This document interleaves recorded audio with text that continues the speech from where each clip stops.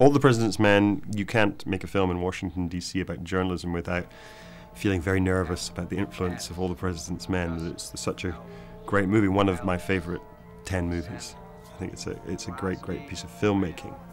Um, and uh, so we have in the movie, we have all sorts of references to the film. We have, you can probably only see this on a very big screen, but at Russell's desk, there's a picture of uh, Woodward and Bernstein in their heyday. It's there.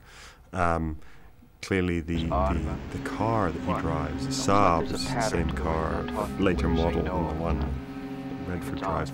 The uh, um, underground garage scene seemed to me this is a place to put a little action scene in an underground garage because in the in obviously that's the, the, iconic place in all the president's men is the meeting of deep throat in in the underground garage so i thought it's a kind of uh, a nightmare version of all the president's men to put a, somebody being hunted by a killer in an underground car park um, but i think more generally all the president's men influenced us because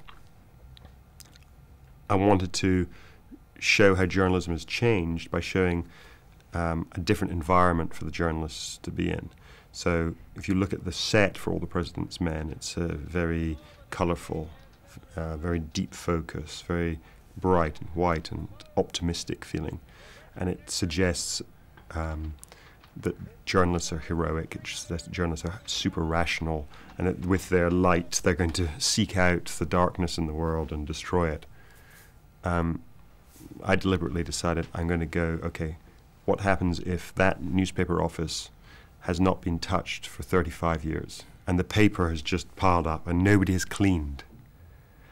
That's what my set's going to be.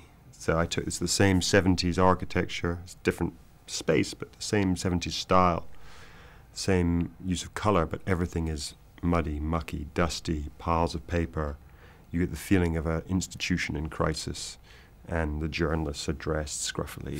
you know, they got beards. The, um, and uh, so that was the biggest influence of all the President's Men. C'est le scandale politique du siècle.